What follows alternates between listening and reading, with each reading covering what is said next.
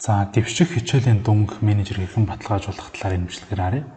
За тэгэхээр энийг бол өмнөх бичлэгтэр бас нэг хальт одоо үзүүлсэн, хальт гэжтэй бүрийн хэмжээнд үзүүлсэн. Гэхдээ тэр бичлэгийн завсар болохоор дахиад нэг тусдан тайлбарлаад оруулчаа гэж бодлоо.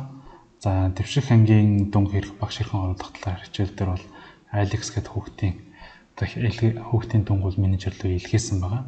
За тэр нь заавал судлах математикийн хичээл За математикийн хичээлгээд орохоор ингээд Алекс гэдэг нөхдөний дүн маань бол ирсэн.